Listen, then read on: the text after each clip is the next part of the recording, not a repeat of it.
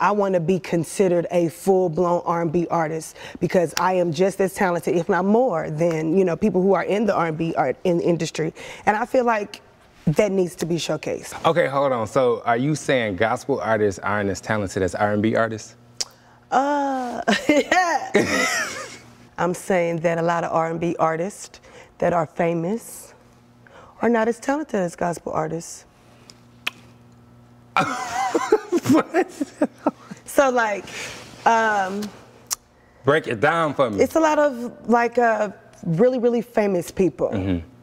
who talent wise, I would put them up against a gospel artist talent wise, mm-hmm. singing wise, and they're not gonna make it. Oh. Like an open mic. Mm-hmm. Sorry. And it ain't gonna work. I'm sorry. Okay. I'm sorry, and that's I no mean, shade, but let's be clear about how I feel about the people who are very famous.